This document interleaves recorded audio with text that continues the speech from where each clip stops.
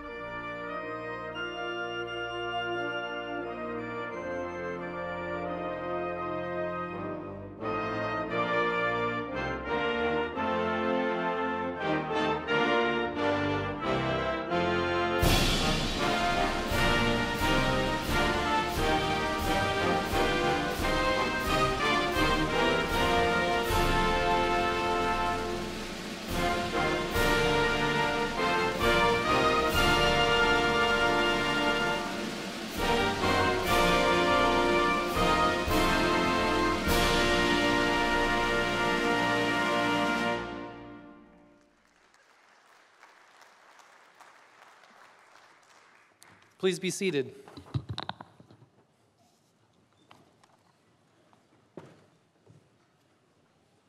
Good morning. My name is Dr. Eric Russell, and I have the honor today of participating in this graduation. Um, I was asked to do this part on behalf of Dr. Ashley Cleveland, who could not be here today, and so she kindly asked me to uh, fill in today, and I'm very honored to do so.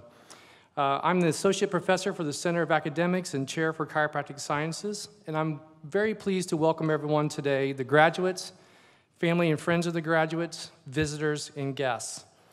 We are so happy that you're here to share with us today on this joyous occasion. Thank you for being with us. Parker, Parker University officially opens in September 1982. The chartered class graduated in August 1985. Today we are participating in the 96th commencement of Parker University. To date, we have 6,950 students that have graduated. There are 51 graduates in this class, making a total after today's ceremony of 7,001.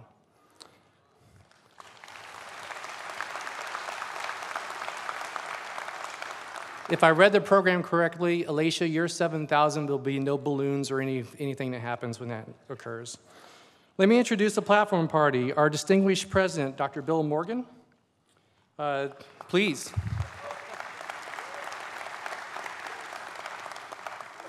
Dean Michael Johnson, he's Dean of Student Affairs. Dr. Oliver Smith, Chairman of the Board of Parker University Board of Trustees. Dr. Amy Wood, Chair of the Parker University Alumni Association. And someone you may be familiar with, Dr. Gene Giggleman, our commencement speaker for today. Every university has, uh, it takes a team to do what we do to produce great students and great future chiropractors. So we want to recognize the Board of Trustees. There's several members of the Parker University Board of Trustees joining us today for our celebration. Please join me in recognizing this group of leaders and thanking them for their service. Please stand to be recognized.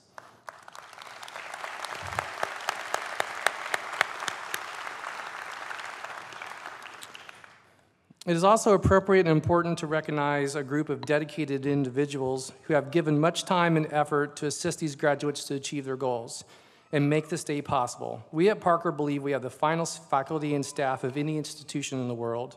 I would like the faculty and staff to please stand and receive their acknowledgement for their efforts.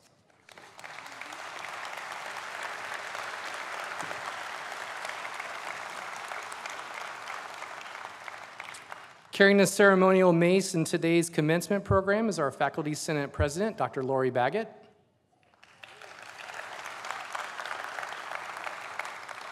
We have two faculty members that are serving as faculty marshals today. They are Dr. John Marth and Dr. Mike Raper.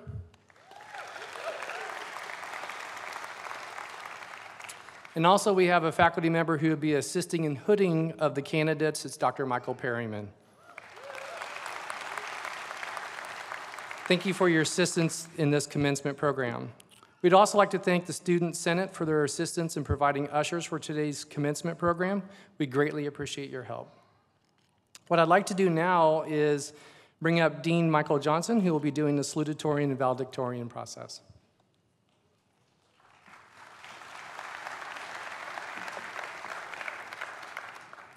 The valedictorian and salutatorian are very special designations in American higher education.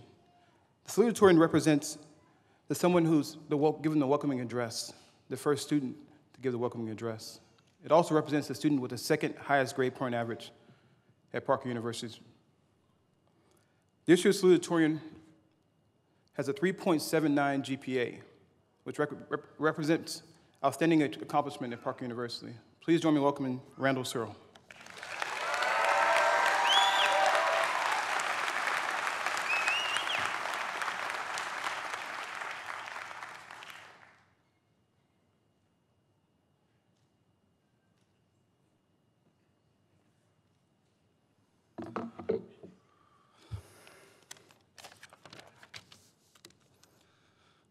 Dr. Morgan, members of the board, faculty, staff, friends and family, and graduates.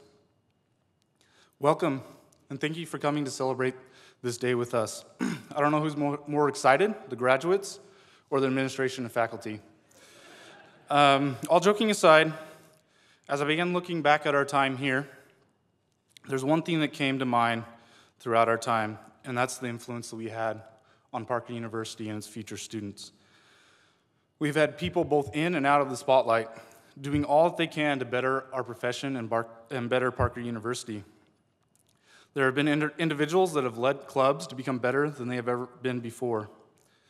We've also had those that have influenced Senate and the Constitution, while others have, made, have helped shape new student orientation to also be better than it ever has before. We even had a couple of you recently who had the opportunity to speak at Focus. A good friend and mentor has recently talked a lot about creating a legacy. Merriam Webster defines legacy as something that is transmitted or received from a predecessor. I believe that we have created a legacy while here at Parker. We have forever changed the culture at Parker University, and now that our time at Parker is over, it is time to start a new legacy. Starting tomorrow, each one of us will have the opportunity to change our communities. In the big idea, BJ Palmer states a slip on the snowy sidewalk in the winter is a small thing. It happens to millions. A fall from a ladder in the summer is a small thing. It also happens to millions. The slip or fall produces a subluxation. The subluxation is a small thing. However, that subluxation produces a diseased body and brain. That is a big thing to that man. Multiply that sick man by a thousand, and you control the physical and mental welfare of a city. Multiply that man by 130 million, and you forecast and can prophesy the physical and mental status of a nation. So the slip or fall, the subluxation, pressure, flow of mental images, and disease are big enough to control the thoughts and actions of a nation. Now comes a man or woman, and one man or woman is a small thing. This man or woman gives an adjustment. The adjustment is a small thing. The adjustment replaces the subluxation. That is a small thing. The adjusted the, the adjusted subluxation is a small thing. However, this restores health to a man. This is a big thing to that man. Multiply that well man by a thousand, and you step up the physical and mental, welf- mental welfare of a city. Multiply that well man by a million, and you increase the efficiency of a state. Multiply that well man by 130 million, and you have produced a healthy, wealthy, and better race for posterity. So, the adjustment of the subluxation is big enough to rebuild the thoughts and actions of the world. The idea that knows the idea that knows the cause, that can correct the cause of dis-ease, is one of the biggest ideas known. Without it, nations fall. With it, nations rise. This is the biggest idea I know of. Starting tomorrow, each one of us have the opportunity to change the world one person at a time. In order to do that, we must continue to live the Parker principles of being pr- present time conscious with every single patient and individual that we come in contact with, and we must develop a compassion to serve that is greater than a compulsion to survive. As we focus on serving each individual we come in contact with, we will not only forever change that individual, but we will also change our communities and collectively the world. Thank you.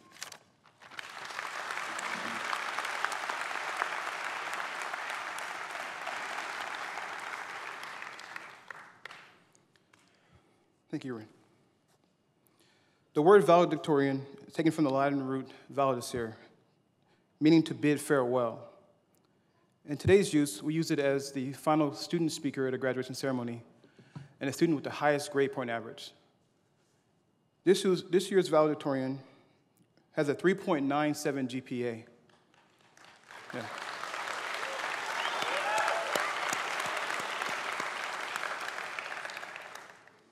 The rank of first in class is outstanding. Please join me in welcoming Ivy Brown.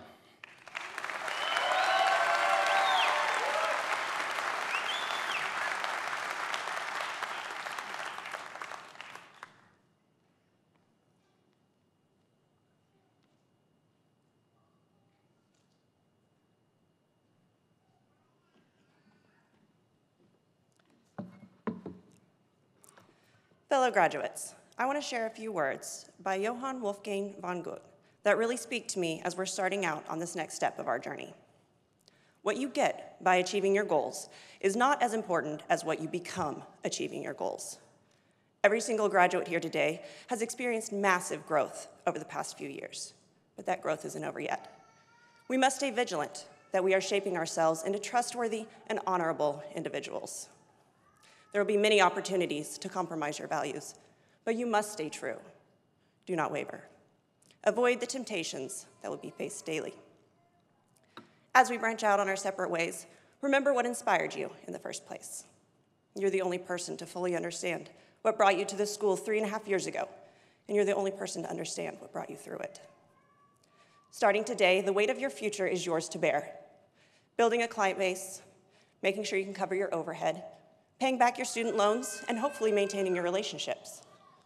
These burdens are a part of meeting the world. They're unavoidable. But they do not get to dictate how you approach them. I implore every single one of you to rise up and meet these challenges with the same zeal that you have approached your education. Do not expect patients to seek you out, but welcome every person with the gift of your passion. Do not become mired in the pursuit of commercial gain, but rather envelop yourself and your practice in every opportunity to better the lives of your patients. Do not resign yourself to your financial obligations, but rather give back generously and embolden those that have not had your opportunities. Do not become timid with those whom you have relied upon, but rather charge yourself to forge deeper and more meaningful bonds. Through these last few years, every single one of us has discovered a new version of ourselves.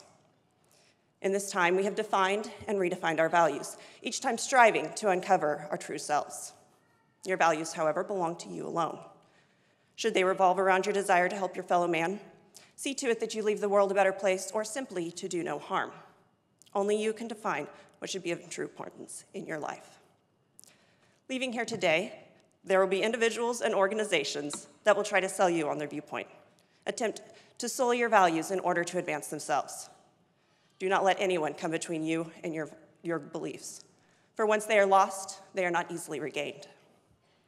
Finally, I call each and every one of you to become the best doctor that you can be. Remember, your passion is yours alone. Your fire will burn brightest when you feed it. No one else will tend it like you will.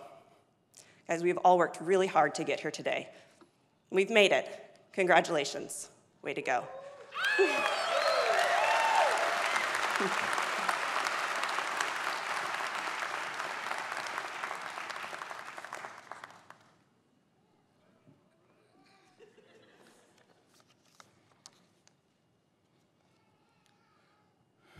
Great job, Ivy and Randall. Uh, next, I would like to bring up the president of the university, Dr. Bill Morgan. Thank you, Dean Johnson. Big day here. Each, each commencement, the James W. Parker Philosophy Award Committee selects a member of the graduating class to be recognized for the, excep- for the exceptional abilities of espousing the philosophy, science, and art of chiropractic, as well as incorporating into his or her professional, professional philosophy those principles which have become the hallmark of Parker College of Chiropractic. This year's recipient is Matthew Kolker.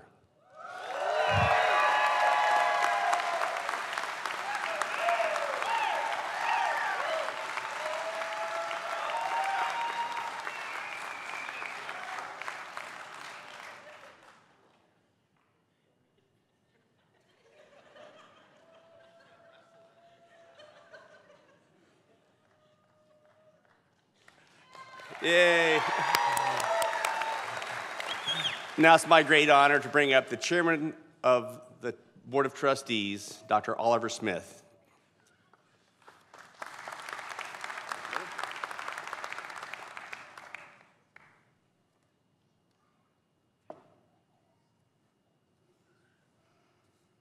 It's indeed an honor today to present the Robert Suppeth Service and Leadership Award. Dr. Robert Suppeth Service and Leadership Award is awarded to a graduating student upon the recommendation of a select committee comprised of faculty, staff, and administrators in recognition of his or her dedication and service that reflects the exemplary service and leadership of Dr. Suppeth, who served as chair of the Board of Trustees from 1987 to 2003. Our recipient this year is Randall Sear.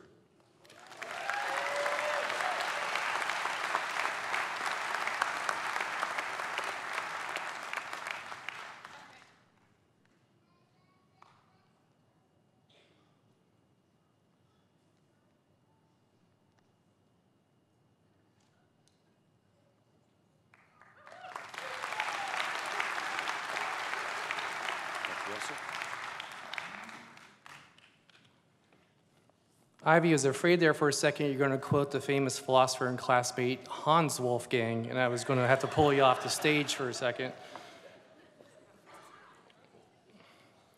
You know, backstage, um, you, you never forget what it's like to, to be a graduate. And I think every chiropractor, no matter how long they've been in practice and how long they've been in chiropractic education, remembers the moment that you guys are going through very vividly through their mind. It, it definitely enters mind every time. And to be part of a graduation is a, is a big deal for you know, an administrator or as a president or a distinguished faculty member. And backstage, I was, I was observing our president, uh, Dr. Bill Morgan, and your commencement speaker for today, Dr. Gene Giggleman, spar with each other a little bit around when I get the mic, be prepared for what I'm going to say, and the other one's like, be prepared for what I'm going to say. Dr. Giggleman failed to recognize that I get to introduce him today, so he was not paying attention to the other threat that loomed that day. You know, in your program, there is um, a, a great bio of Dr. Gene Giggleman and all that he has accomplished in his very distinguished career, and definitely everything he's done to make Parker University great. Um, he we had a, a, private moment over there. He's like, You gonna read that? And I'm like, Nope, I'm just gonna go for it. So, you know, a couple observations. Number one is it's easy to be a teacher that's liked, and it's easy to be a teacher that's tough. And it's very difficult to be a teacher that is both loved and respected. And I think Dr. Gene Giggleman definitely does that. His career at Parker University has, uh, I believe, has gone over 30 years if that's correct, and um, has the same passion and vigor uh, towards teaching to making people better chiropractors to, be the best they can be, and definitely to espouse the Parker principles. And I think Dr. Gene Giggleman is one of those people that truly espouses the Parker principles as put forward by Dr. Jim Parker. Loving service is my first technique.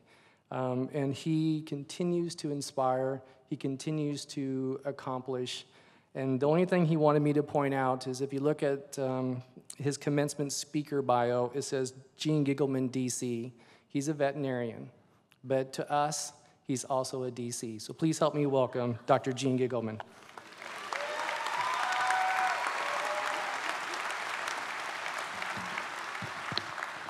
I'm not sure how to follow that, I'll be honest with you.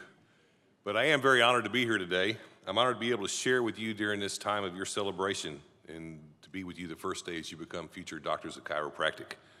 I'm also honored to have in the audience my wife, my two daughters, my two son in laws, and two of my four grandchildren. So they're here today as well, so that's good. You know, I was thinking when I was told I was going to be your speaker, I was just, I was overcome with emotion, and I'm just, can't tell you how blessed and privileged I am to be here.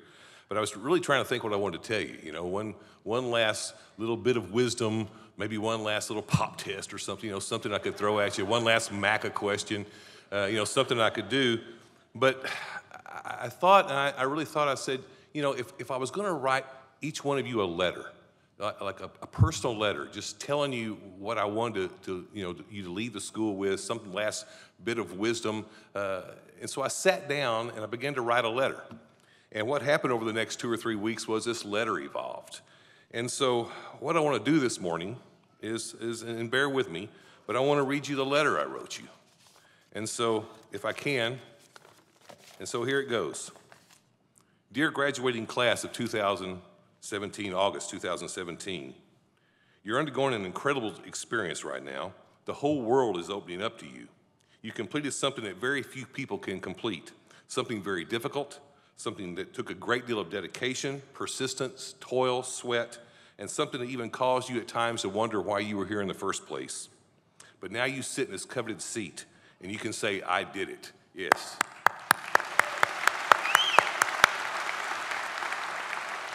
The key to a successful life is not talent.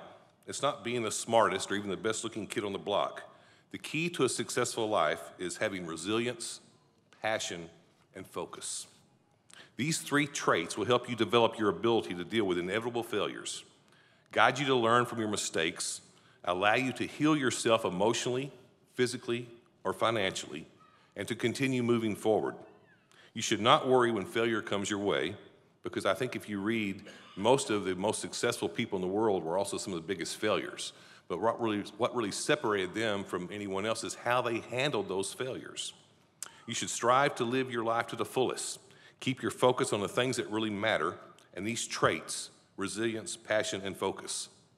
These three traits were also key elements in the life of the person who founded this great institution, Dr. James W. Parker.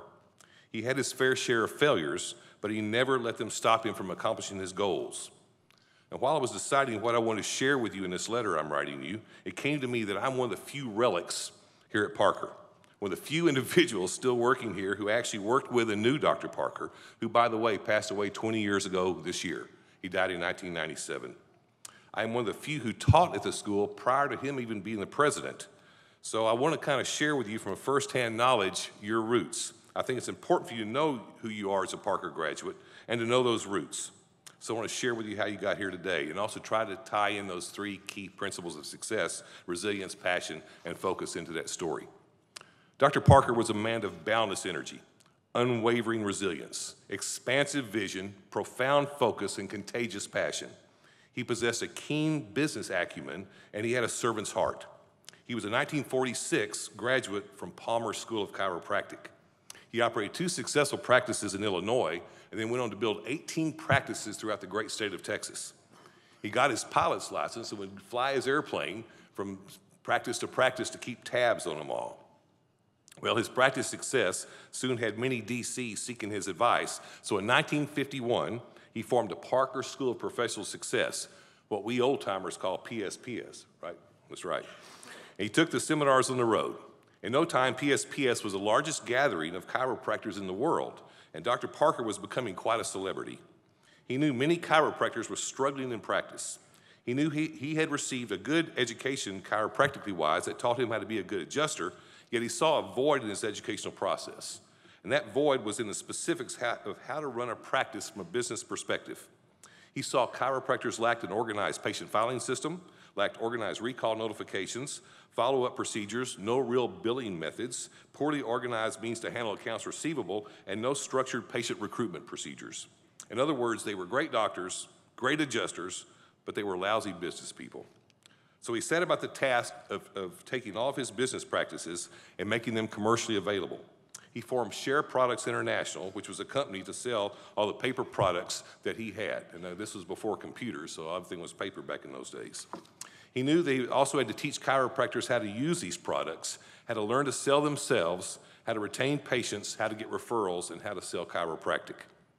A 1987 Parker School of Professional Success seminar brochure claimed that over 125,000 doctors of chiropractic, spouses, and staff assistants worldwide, over two thirds of all practicing chiropractors have attended nearly 300 Parker seminars more than 400,000 times collectively, resulting in millions and millions of additional patients being served and surely resulting in at least a billion dollars of extra chiropractic earnings. Now, that was back in 87, so that's a lot more than today a lot more today than then. They say Dr. D.D. Palmer founded chiropractic, Dr. B.J. Palmer developed chiropractic, and Dr. James W. Parker promoted chiropractic. So there you have the three of them the founder, the developer, and the promoter. Dr. Parker took this profession at a time when it was still under major attack by the medical profession.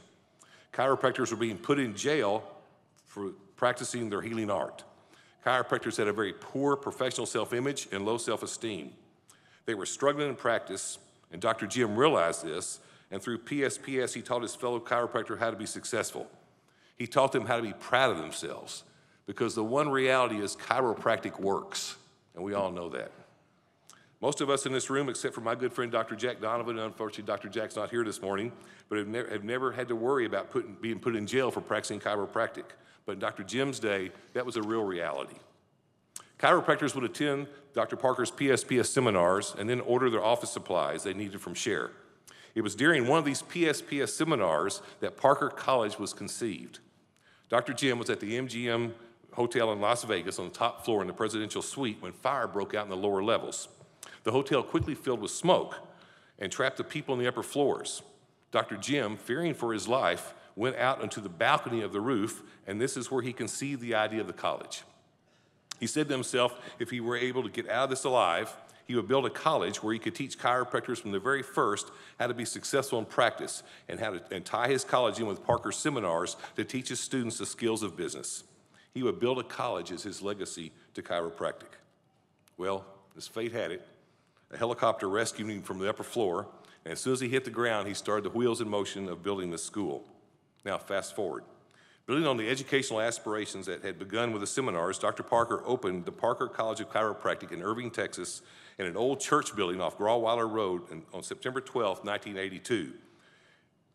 The charter class had 27 students, and they started at that time. These students began their academic journey to school, which was not accredited with the Council on Chiropractic Education. In fact, they were not even able to procure financial aid, and how they got financial aid was through Northlake College because Parker had arranged with Northlake kind of a, a joint a relationship. So the students through Northlake got financial aid to even go to school here at Parker. The college was building a curriculum one class at a time back in those days, and they were looking for teachers. May of 1983, I got a phone call from Dr. Carl Sobert uh, looking for teachers to teach at this new chiropractic school uh, in Irving. I was working at Northlake at the time, supplementing my income, uh, teaching A&P there, and Dr. Bob Agnew gave Dr. Sobert my name. The interview process was interesting. I, I came to the school to interview with Dr. Ted Mortar. Anybody know who Dr. Mortar is? Some of us old timers do. And Dr. Mortar and I sat down. He asked me if I knew what chiropractic was, and I had never been to a chiropractor, and I said, No, I really don't. And he spent the next four hours educating me what chiropractic was. And, and, but really turned out good. I, I you know, it, it, was, it was, I was fascinated. For the first time, I heard of a healing art that addressed the why of why people or animals get sick. You know, in school, I've been taught that if, if one dog got an infection and another dog in the household didn't, it was bad luck or, or the dog's poor immune system. but never had I heard the concept about the nervous system being the master system that controlled all other systems. And if something was wrong with the nervous system, then the body can't function normally. And so it made sense to me. And then I heard about this thing called a subluxation, which is an interference of normal nervous system function. While skeptical, I was fascinated, so I took the job. And that was in 1983. Brahm and I started on the, on the same date back in May 1983, so we've both been here since then. Teaching a charter class pathology in those days of the third trimester of what was then a nine trimester system. These charter class students believed in Dr. Parker and took a huge risk, if you think about it, to start this journey not even knowing if they would ever get a license to practice. Yet they had the faith, confidence, and belief in Dr. Parker, his product, his services, and his ideas. Now, fast forward to 2017. Here you are today, graduating from a fully accredited college, part of a larger university which is also fully accredited. You no longer have to fear imprisonment for practicing your healing art. You're graduating from a school that was founded on one man's vision to build an institution that produces not just a great doctor, but a great business person. You do not yet know the power and strength of the education you have received here at Parker, but you will reap the benefits of this education for the very rest of your life. Dr. Parker had a burning passion and love for chiropractic. He lived and breathed chiropractic. Then, when the time came, he lived and breathed Parker College. He worked many long hours into the wee hours of the morning to see if this college was successful. He gave millions of dollars of his personal fortune to this school and ultimately gave his, his life and his health to this school so that you could receive the education you got here at Parker. He loved this school and he loved the students. He never compromised when it came to chiropractic or to his school. He accepted only the best out of his faculty and out of facilities so that you would receive the best education possible. He dreamed big dreams, and he had the personal motivation, the resilience, the focus and passion and strength to see them through. Yet he always had time for you, the student. He would walk out in the courtyard speaking to students and answering their questions. In those days, you had to write an essay before you came to Parker. And, and, I've literally sat there and watched him read every single student essay that he was sent back in those days. So he knew you, he knew who you were. And when he spoke to you, he looked you in the eye and he, and he, he spoke back with you. He didn't talk to you, he talked with you. He loved you, and when you went to Parker, you became part of his family. I urge you to emulate our founder and to do whatever it is that you do with a burning passion. Do it because you love it and because you, you believe in its importance. Turn away from the easy life of complacency, the condescending nature of most people, and the addiction of materialism. Be resilient and do not give in to the naysayers. Stand strong on the founding principles of chiropractic, focusing on your patients, using what you were taught and trained to do, bringing them to a higher level of wellness. Put down your smartphones and notice people. Look at their faces, watch them, immerse yourself in them. Watch the way they walk, the way they move. Know your patients as you know yourself. Do not be distracted by the technology of today. Learn to listen and listen intently. Focus on what your patients are saying to you. Be worthy of the gifts with which you've been blessed. Accept the quirks that make you unique. Be proud of who you are and embrace your opportunities with a burning hunger and zeal. And remember to never compromise who you are. Be true to yourself. You are a doctor. You are a doctor of chiropractic. Yeah. Thank you. Have big dreams and never stop dreaming. Push yourself hard, but be nice to yourself and be nice to those around you. Love the people and things in life with, that you love with all of your strength. Live in love with a sense of urgency. Live every day if it was, was stolen from death. As Christ says, and I paraphrase, there is really but one commandment, and that is to love and respect everyone as you love and respect yourself. Love lights more fires than hate extinguishes. Love is the antidote for hate. Never look down on someone unless you're reaching down to pick them up. Love them with passion. Loving service should be your first technique. Now more than ever, America needs what you have to offer. If you fight for your seat at the healthcare table, if you set a better example, if you persevere in what you have decided to do with your life, I have complete faith that not only will you succeed, but that through you, our world will be a better place. That more and more of the world will begin to see the benefits of chiropractic and the wellness model you have to offer them. In doing so, we may finally get away from the current paradigm of sickness care and salvage medicine you are carrying the light ignited by the founder, the developer, and the promoter of chiropractic. Your opportunity is now because commencement means beginning, not end. You will never get this chance again. Do not waste your moment in the sun.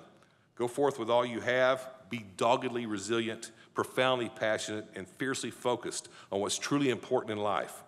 Be the best you can be, so at the end of the day, when the sun is finally setting, they can say to you, Well done, doctor, well done. I leave you with one last thought. The word doctor means teacher. Dr. Jim was a teacher and a darn good one. You are, you are all teachers now. You have a great influence upon your patients, your friends, and your families. In the book of James, chapter 3, verse 1, it says, Teachers are held to a higher standard because they have the power to influence and change people's lives. You are now held to a higher standard. You are now a member of a very select group of people. I personally take this charge very seriously.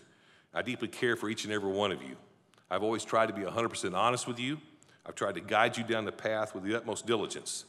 In my 63 years of living, I've been exposed to many philosophies, religions, and belief systems. My intellectual mind has dissected and questioned all that I was told in an attempt to discover the truth. It took me a long time to realize that truth is not always realized with the mind, but that when we see real truth, we see it in our hearts.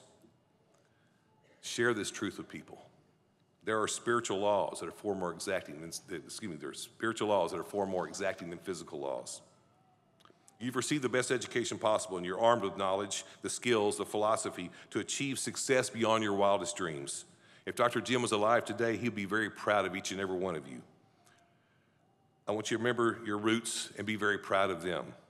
Our new president, Dr. Bill Morgan, is very much like Dr. Jim in that he's a mover and a shaker and not just a talker. He will take this institution to the next level and beyond, and I am very proud to serve under his leadership.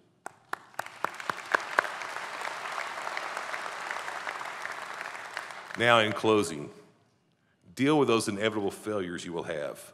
Learn from your mistakes and focus on what really matters in life, not wasting your time on what doesn't. Continue to always move forward. Again, I thank you for this honor.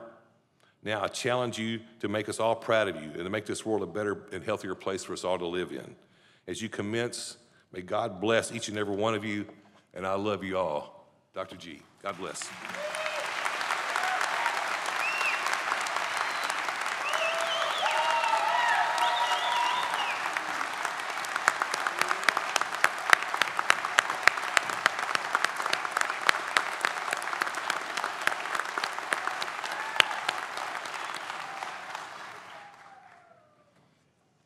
I can stand here forever too and make it continue. So, um, I think you can see why he's a darn good veterinarian, a honorary chiropractor, and someone who embodies the Parker principles. So, thank you for that speech, Dr. Giggleman. All right, let's get to why you guys are here. I know, I'm surprised you guys have kept your uh, decorum so far. Um, Parker University is empowered by the accreditation of the Southern Association of College and Schools and the state of Texas to award a Bachelor's of Science degree with majors in anatomy and health and wellness. On a special day, we recognize those students who have earned a Bachelor of Science degree while working concurrently towards their Doctor of Chiropractic degree. There are seven students in this graduating class who have completed all the requirements of the Bachelor of Science degree with a major of anatomy. Will the students receiving the Bachelor's of Science with a major of anatomy please stand and be recognized?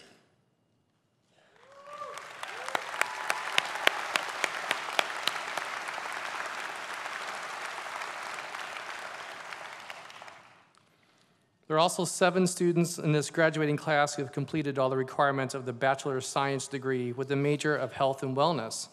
Will the students receiving the Bachelor of Science with a major of Health and Wellness please stand and be recognized?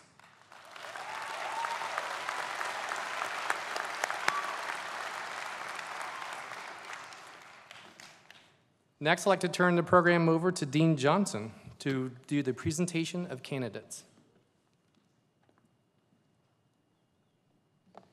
Will the graduates please stand? Will those assisting in the conferring degrees please take your places? I present to you the graduating class of August 2017. The faculty have determined that each of these students has completed or will soon complete all the requirements for the degree, and the faculty have certified them as being worthy of the title Doctor of Chiropractic, with all the rights and privileges pertaining thereto. Will the first four graduates please come forward? The rest of the graduates may be seated. Some of the graduates have family members who have a doctor in one of the healing arts. It's a Parker tradition to allow them to be presented with a diploma as well. Additionally, we have seven students who will be graduating with honors. Cum laude, 3.5 to 3.74, indicated with a blue cord. Magna cum laude, 3.75 to 3.89, indicated with a silver cord. And summa cum laude, 3.9 to 4.0, indicated with a gold cord.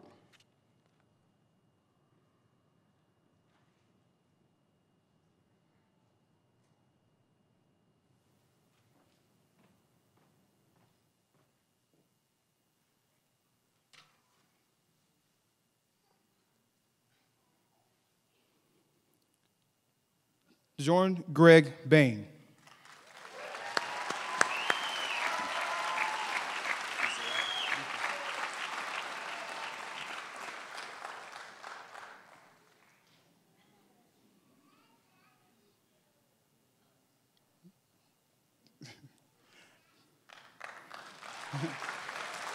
Keith, Keith Allen Beachy.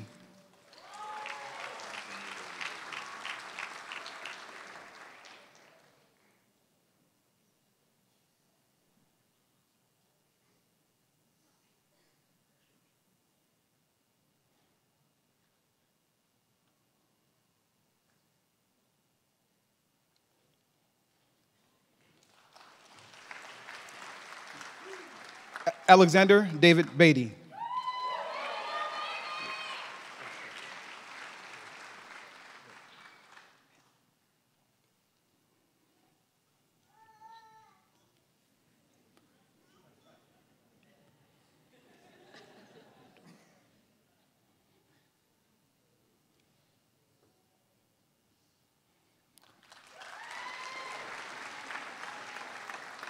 Louis Pambit Berturfo.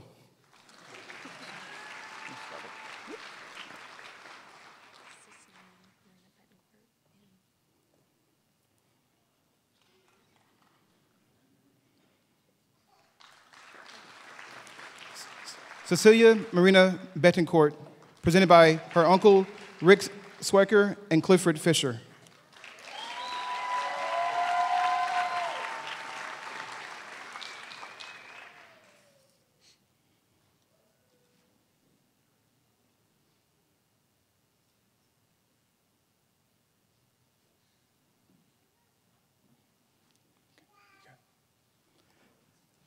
Malachi Walker Bolton, cum laude.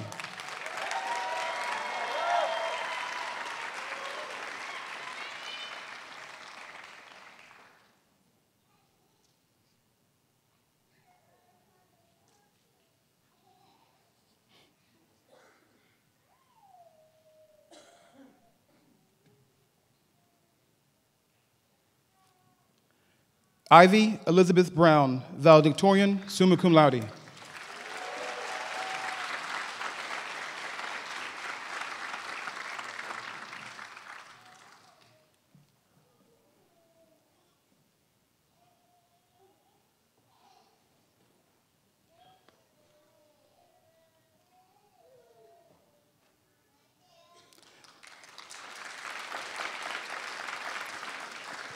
Kyle, Kyle William Kenyon Clayton.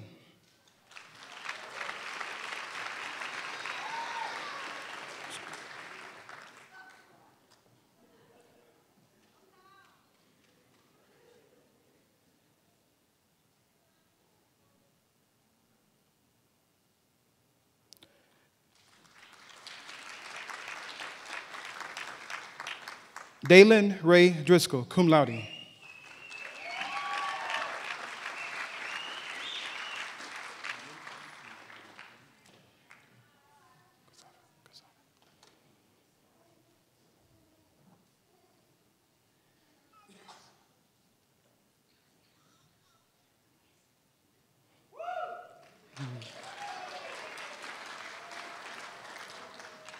Milton Encarnacion Quesada.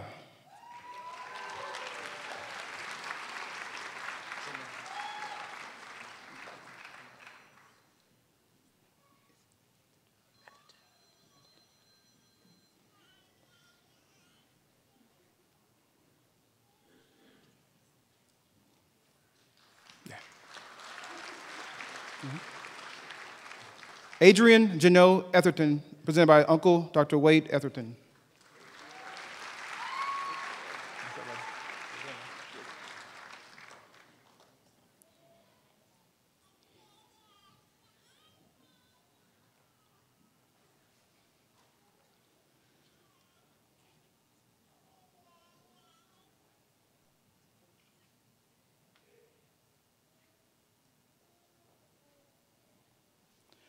David Farley.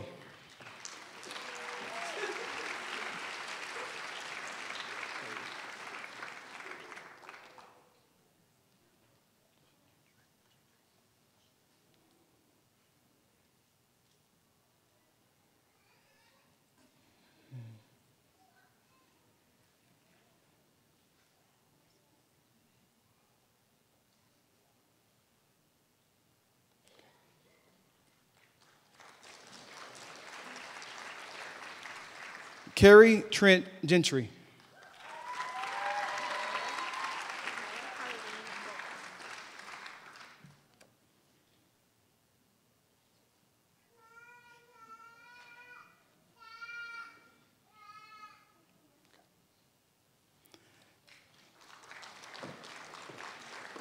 Fallon Harlene Gilbert.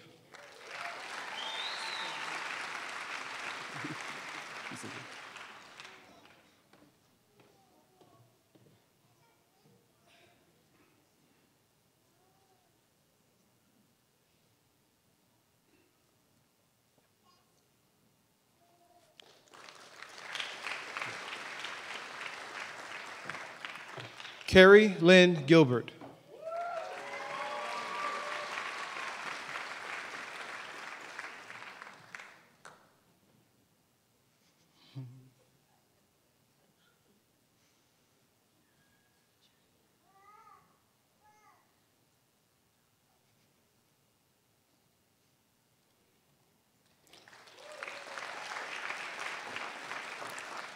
Caroline Evelyn Graham.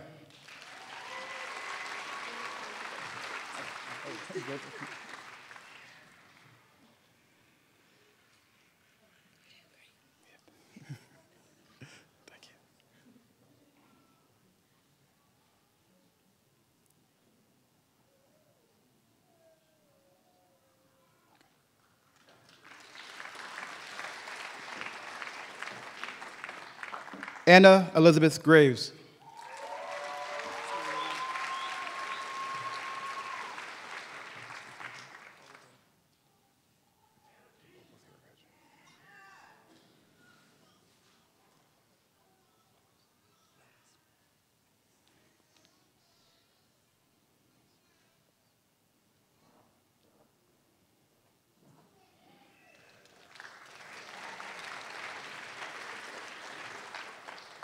Dana Lois Harris, presented by her brother Bolden Harris and mom Dr. Ellen Jens. Uh, this is just Baron Hard, there's an H, and this is Brandon, Vish- that's Brandon Vishaka. Vishaka, Vishaka.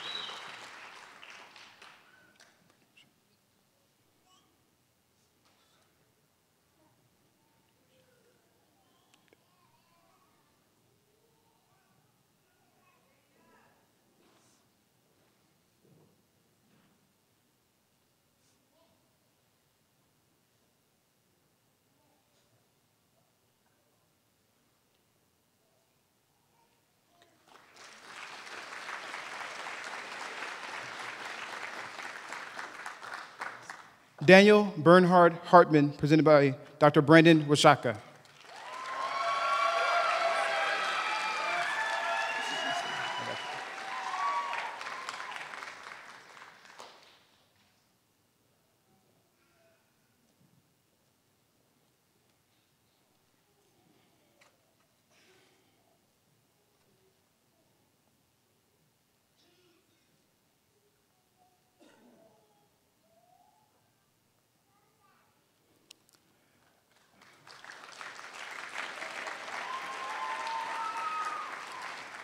Alyssa Erica Haynes.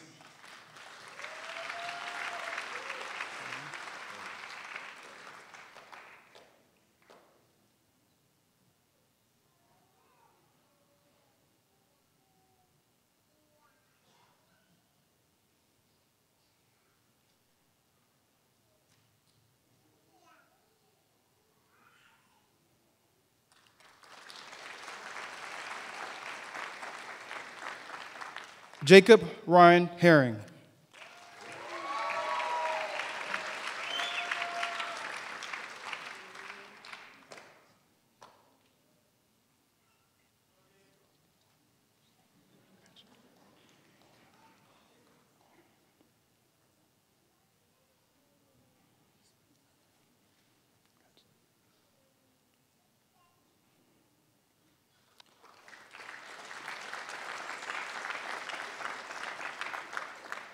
Donna Renee Hopkins, presented by her brother, Dr. Thomas Henderson.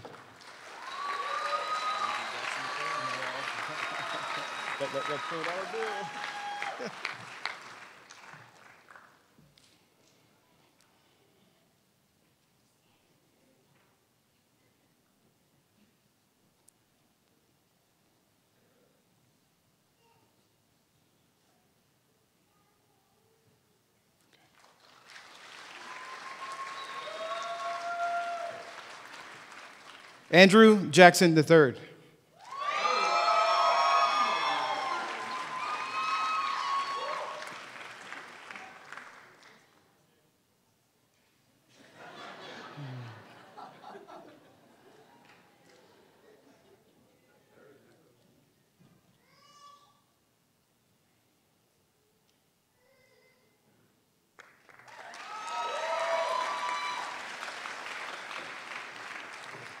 Lauren Elizabeth Johnson, presented by her cousin, Dr. John Davis.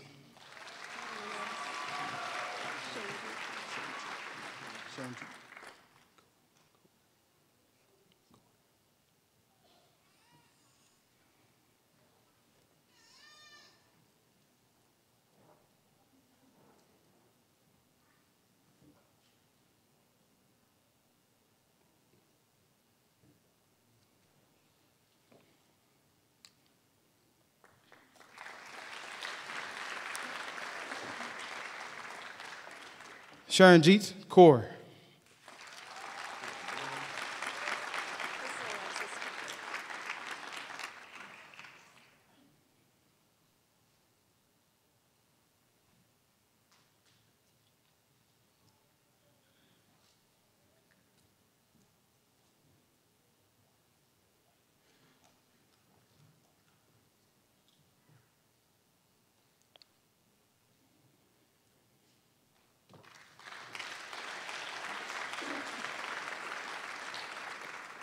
Crystal Alexis Kendrick.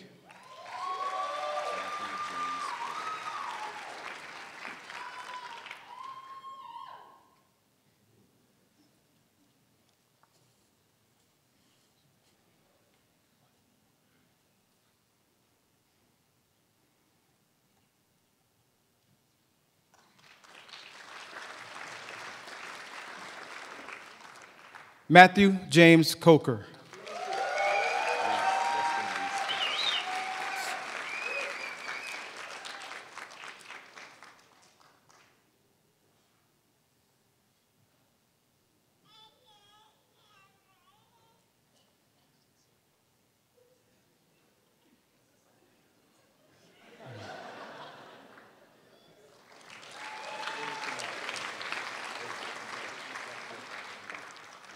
Weston Reese Kurtz.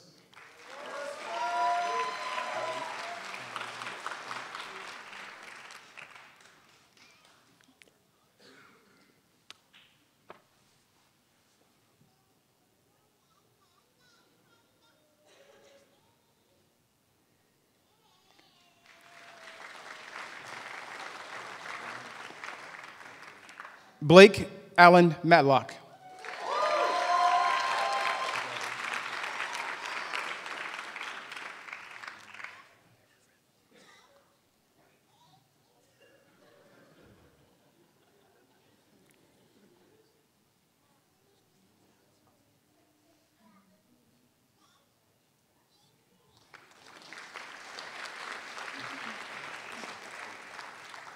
Jason Everett McCloskey.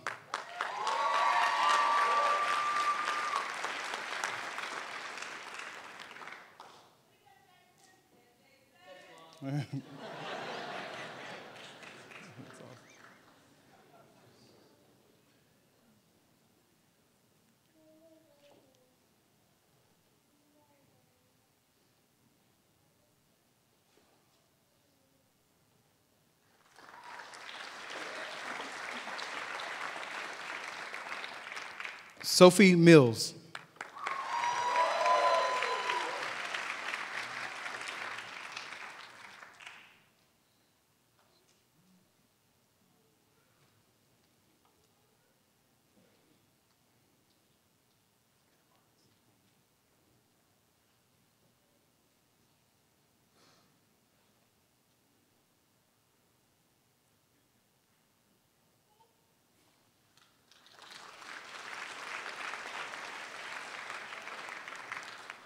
Hans Wolfgang Moorbach, Army, presented by his wife, Jessica Moorbach.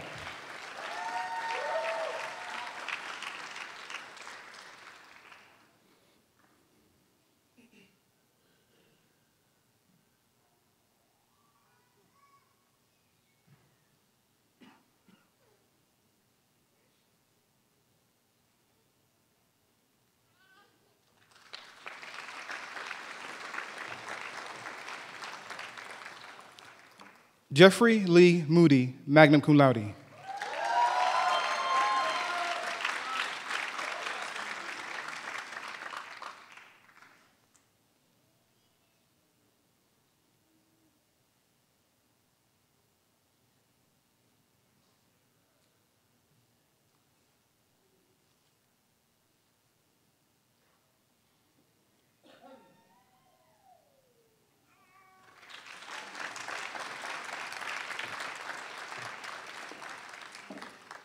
Crystal Monique Moreland.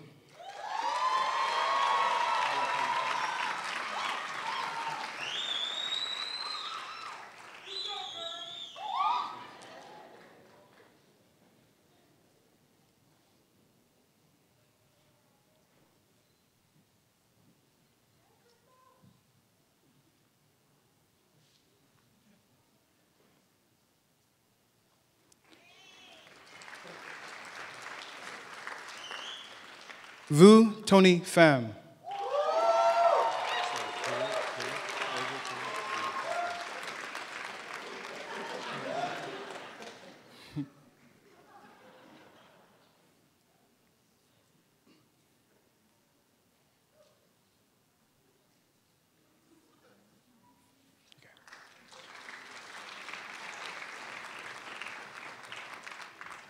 Richard Oval Penner.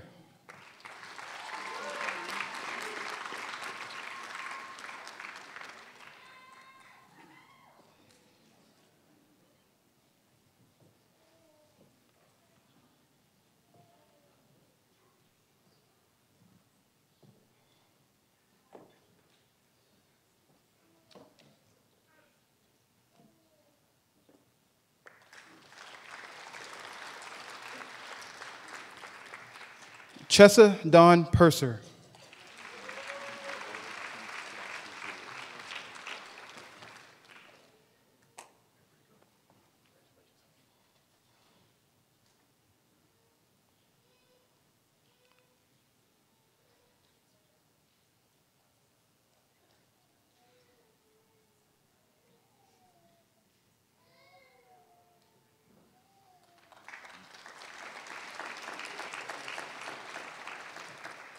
Donald Keith Sadowski Jr.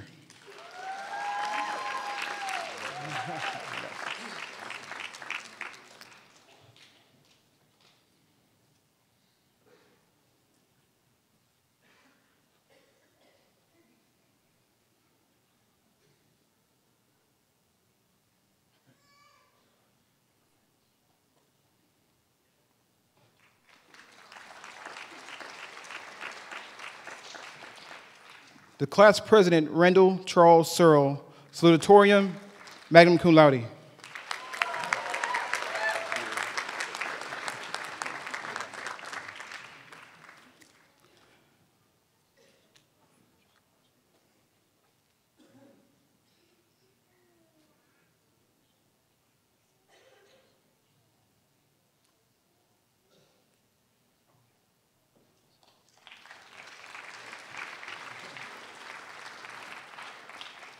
Keelan Colburn Smith.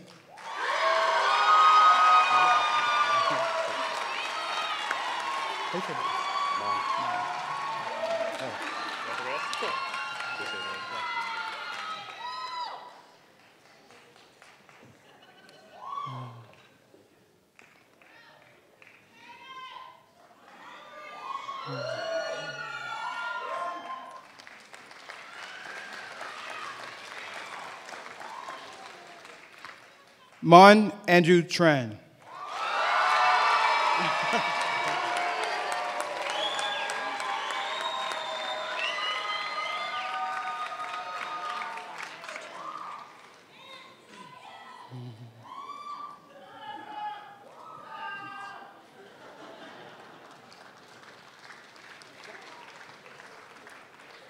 Monica Valdez Trevino.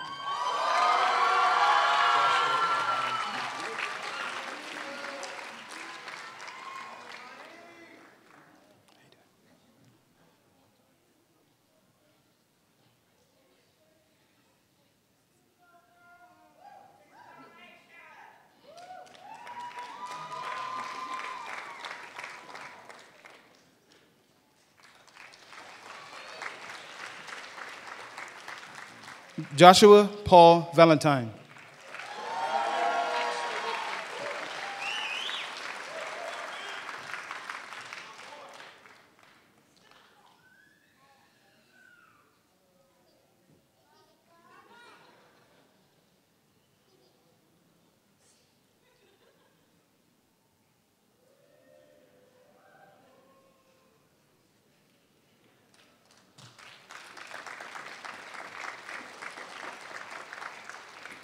Nicole Ashley Whitby, United States Army.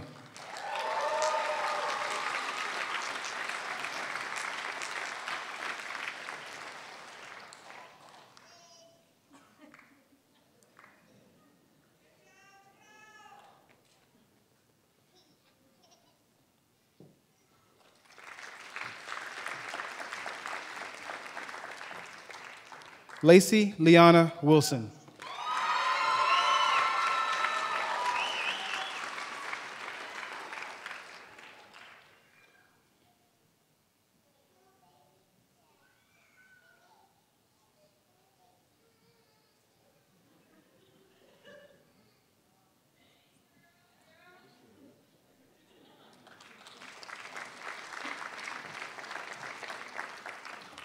Shelby Lorene Wilson, cum laude.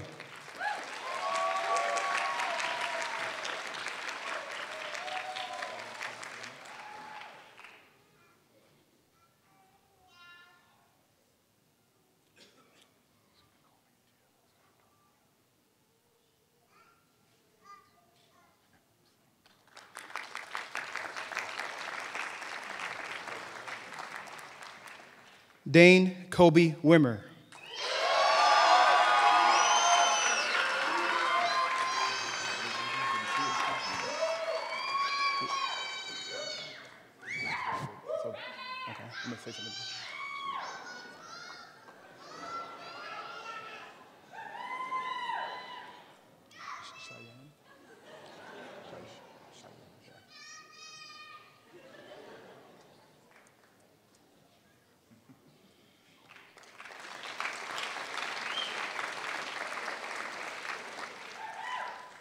Representing Parker University's 7,000th graduate, Alicia Cheyenne Young, presented by her father, Dr. Tim Young.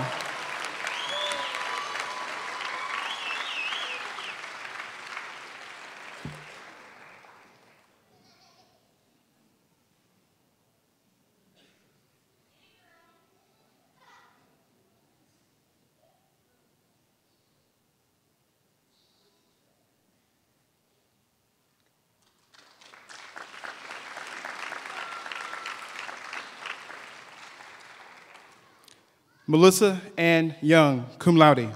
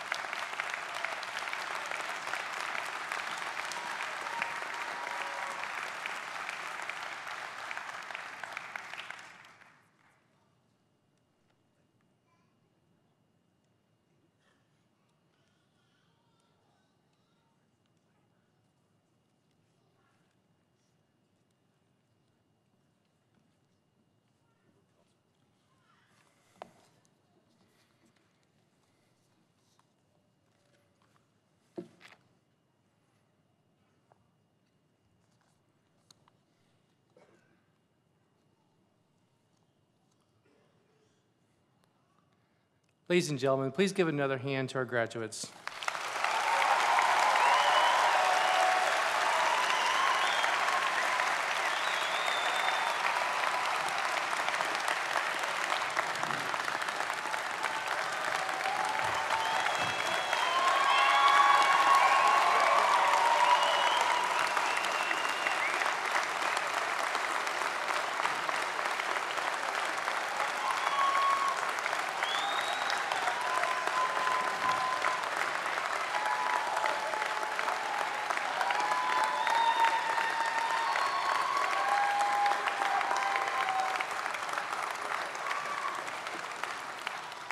Or should I say our almost graduates? We got a couple more things to do.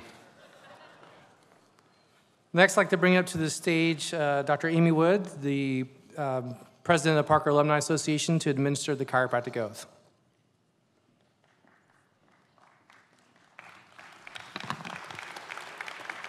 Graduates, will you please stand? And you need doctors of chiropractic, please stand as well. Please raise your right hand and repeat after me.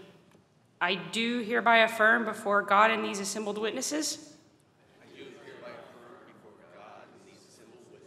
that I will keep this oath and life commitment to hold in esteem and respect those who taught me this chiropractic healing art. To follow the methods of treatment, which according to my ability and judgment, I consider for the highest benefits of my patient. To abstain from whatever is deleterious and unethical. And to stand ready at all times. To serve my fellow man. Without distinction of race, creed, or color. With purity, I will pass my life and practice my art.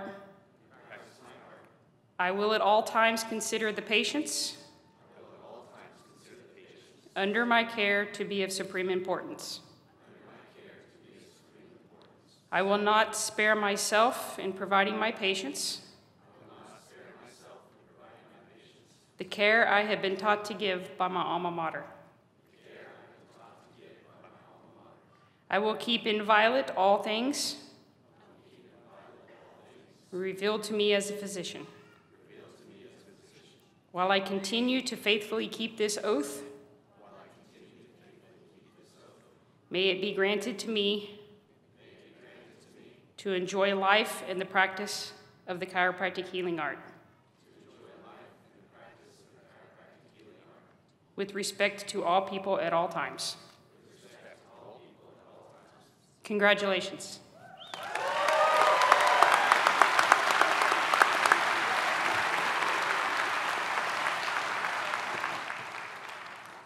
You may be seated. I think Parker is, the buildings and the staff and everybody are sighing a collective sigh of relief. Randy was not kidding when he said he, did, he didn't know who was more happy to see this day, Parker or the class. This class has been the most involved class at Parker. I've known most of you from the first week I was there, very engaged, full of leadership. And what Randy said was correct. This class has changed the culture of Parker. I expect you to go out there and change the world. Don't lose the power that what you've got, you've got something special.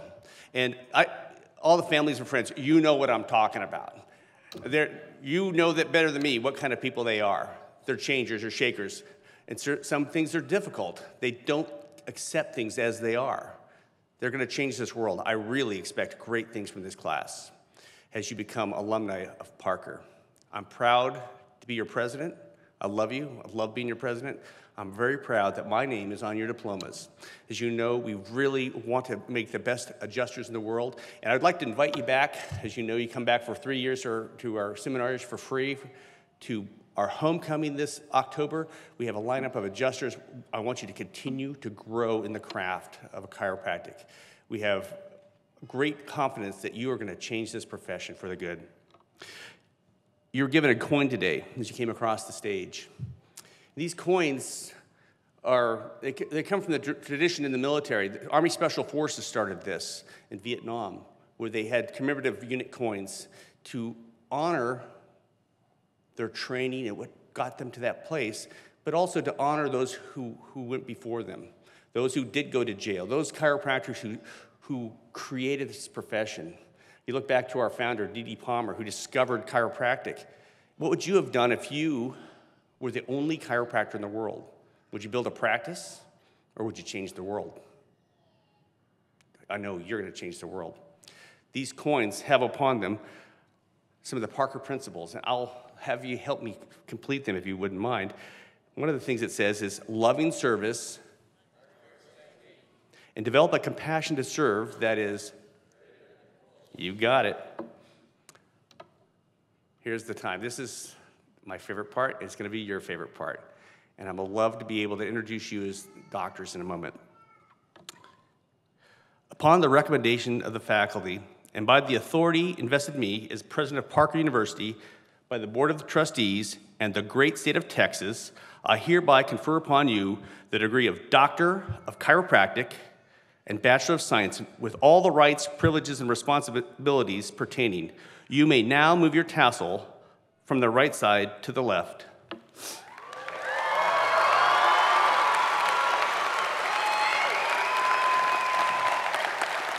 It is my pleasure to now present to you the 51 newest doctors of chiropractic. Stand up.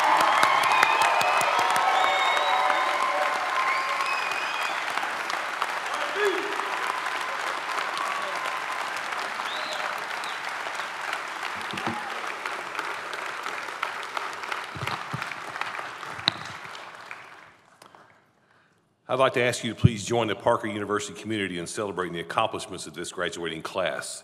There is a reception honoring these graduates that will take place immediately after the commencement in the lobby.